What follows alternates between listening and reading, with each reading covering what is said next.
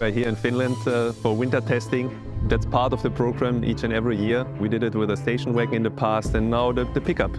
The, the team started from Graz. It took them almost three days to come uh, more than 2,000 kilometers up uh, to Ivalo in Finland. We're putting the, the Grenadier through its paces here in, in, in the cold uh, Finland uh, surroundings. Uh, we are starting up the vehicles in the mornings out of the climate booth by minus 35 degrees checking all of the functions, especially um, everything what, what needs to move, and just check if uh, everything is still working uh, with a very cold uh, weather.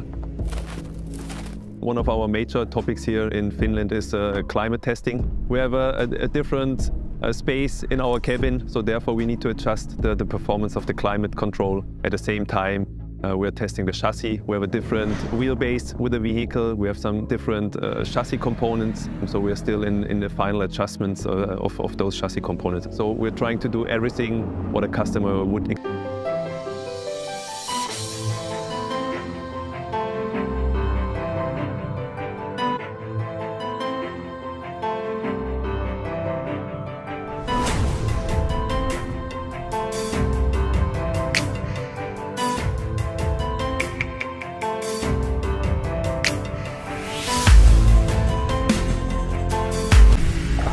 I'm really amazed by the engine in the Grenadier station wagon and pickup, and this is my first time driving the pickup. It was driving really well. Really impressed with you know what's PTO1 stage. It, it feels like a really good car. When you really want it to go and you, you press down on the accelerator, it's it's extremely responsive, and when you're on this sort of terrain, it's such a great amount of fun. The team is working very hard here to check it out day and night at these conditions. So we get a broad field of testing. How is the car behaving? Change the car if it's needed.